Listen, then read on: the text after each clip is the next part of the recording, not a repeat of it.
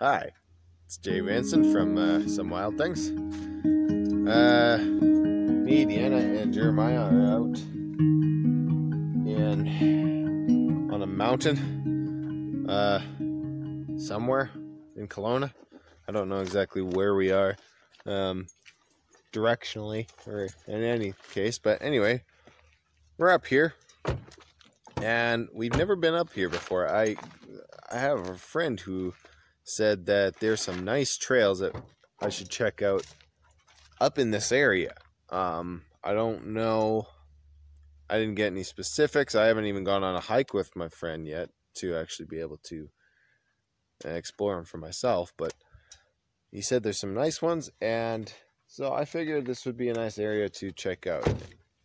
Um, might be some opportunities for bushcraft, but certainly a lot of foraging opportunities. So we're going to see what we can find.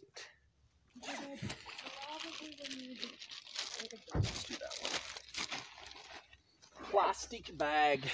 One. A lot of cedars up here. This is nice. Oh, it's actually really pretty. Two. Getting our toilet paper. Three. Forgot my toilet paper bag, so One more. all right, Just an extra because there's three of us. So. perfect. Oh, Alright, I'll be oh, back.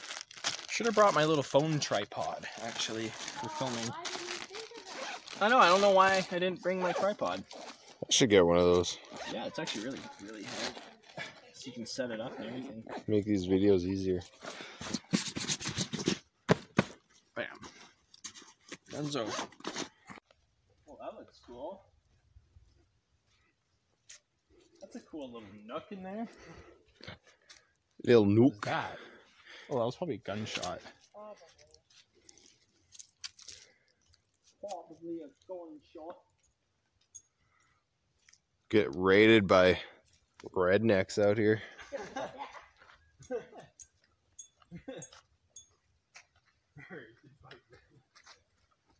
Hopefully you'll have nothing they want. We don't have beer Yeah, we don't have beer. or bullets. Or country music. yeah. Yep. or any type of loud machinery. So.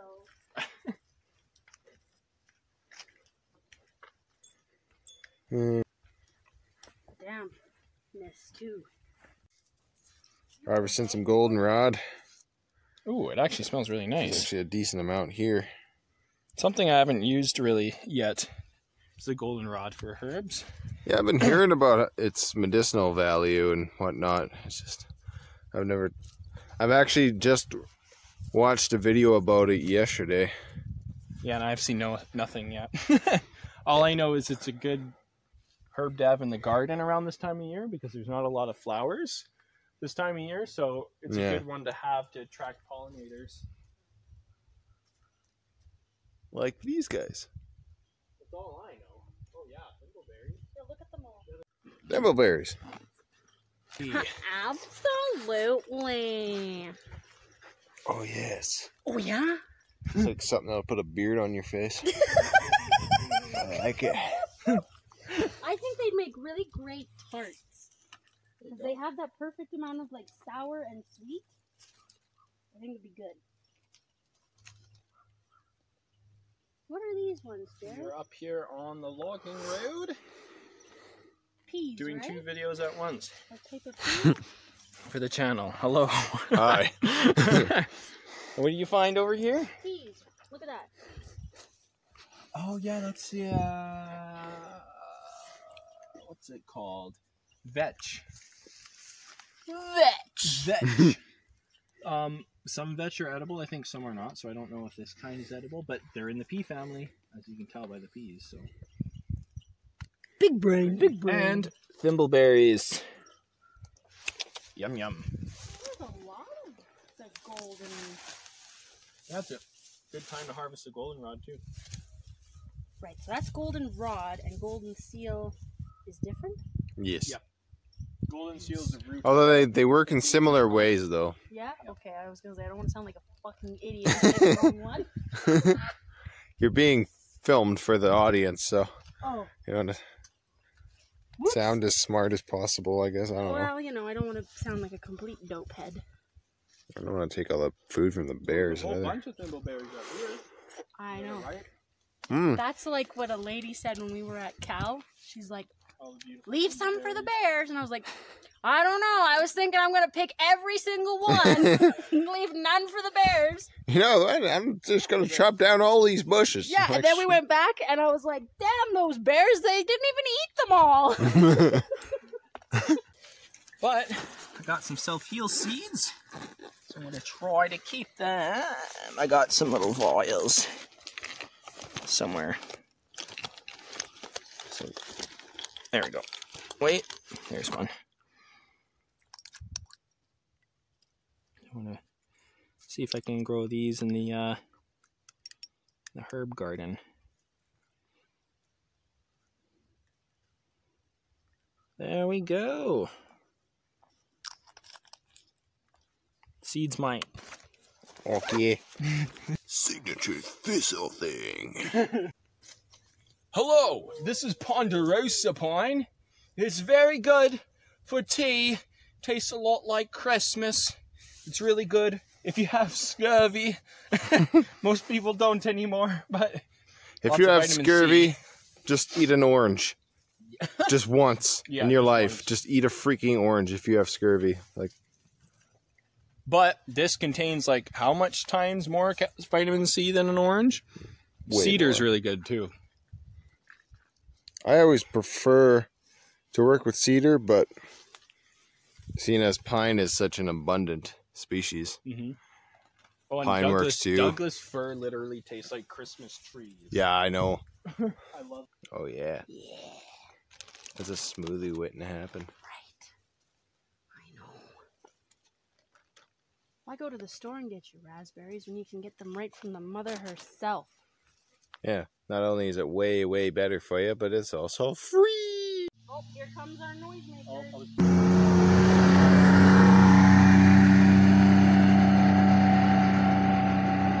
Rednecks.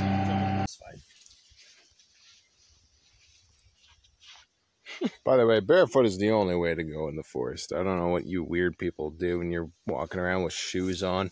Bunch of freaking aliens from outer space. The ground's gonna kill you or something. Pretty much.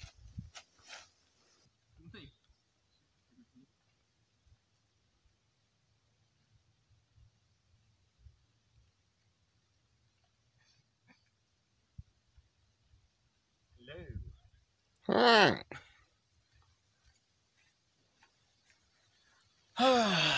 Ready to go. All right, so right here we have a sarsaparilla plant, which is in the same family as ginseng, but they usually just have a just a stem coming up and they branch out into three, like that. They usually always have three, and sometimes they'll have a little bundle of berries, but um, they usually always have either five leaves or three, but usually five, and it comes out like that. There's another small one right here, and right here. You can see that it comes out in the threes like that. And sarsaparilla, the roots are what's used in root beer. It's wild sarsaparilla. It's a bit different than the domesticated varieties, but wild sarsaparilla. Down there is uh, Devil's Club, and the uh, Native Americans used to make staffs out of them. Usually, usually the shamans, because there's believed to have very strong spiritual uh, powers, usually to uh, prevent like uh, evil spirits and stuff. It's to keep them away. So they were usually harvested around Halloween when the veils are thinnest. Yeah. So what we got here are more of the fairy bells, which have edible berries. They're they're slightly sweet, but they have a lot of big seeds in them. I know the natives didn't really regard them highly. They would just collect them along with whatever else they were collecting, but they wouldn't go out to just collect fairy bells because they don't come in abundance much. But you can eat them. You can eat the berries. Mm-mm. They just have lots of big seeds in them.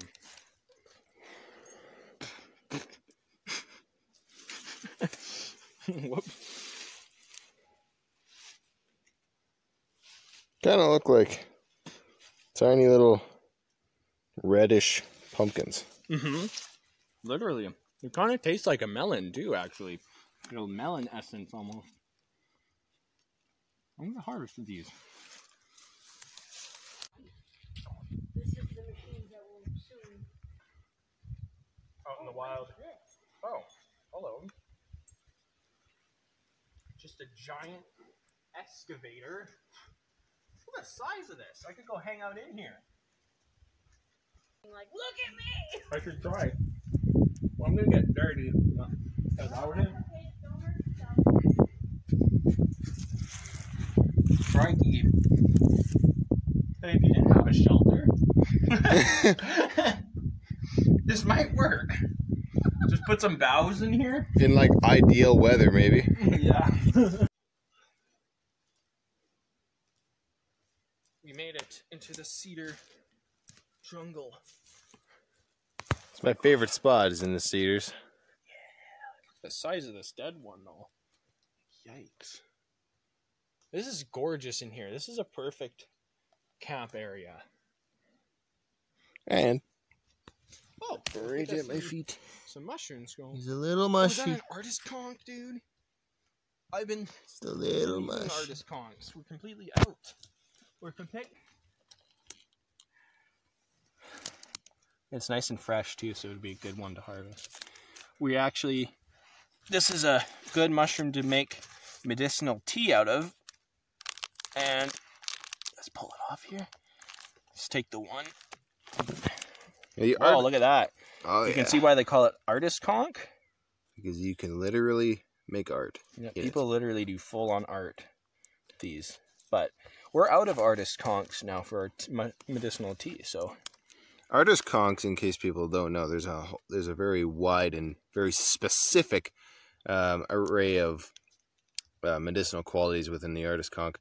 Uh, most of whom are can have a lot of um, antibacterial properties and, and uh, cancer fighting properties, and as well as an extraordinary high amount of um, immune system boosting properties. So usually most conch mushrooms have very similar medicinal properties like that. And um, in, in some countries like especially in asian countries uh, they have been being used actually uh, the mushrooms have actually been used uh, for treatment for people who are going through chemotherapy or experiencing any kind of um, uh, cancer battling cancer cancer treatment of any kind because it actually helps the immune system to fight off the cancer like it should be doing naturally. exactly. So essentially, if you have a tendency of cancer in your background, in your family history, I might just recommend you to go out and look for conch mushrooms. Do your research. You And if you if you're not a forest if you're not a forest dweller, go to Nature's Fare or some like Whole Foods or something like that and find yourself some chaga mushroom or turkey tail. Exactly. Good stuff. See what else we can find. Human food. Not from the wild though. Yeah, I know. You won't find this in the wild. Well, you would just on here. Not in the cedar jungle. Definitely not.